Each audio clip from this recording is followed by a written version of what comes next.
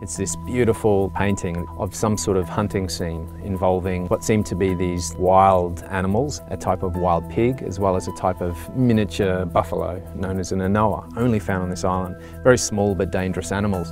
Uh, amongst this uh, group of animals running across the cave wall, essentially, you can see a, a whole group of these tiny little hunters which at first we thought, wow, these look like little people hunting these animals. But when you look closely at them, you can see that the, the figures themselves have been portrayed as part human, part animal creatures. They're what we call therianthropes. Uh, like for example, one of them seems to have the head of a bird and another one seems to have a tail. They're armed with what seem to be spears or ropes that they're using to hunt these, these wild animals.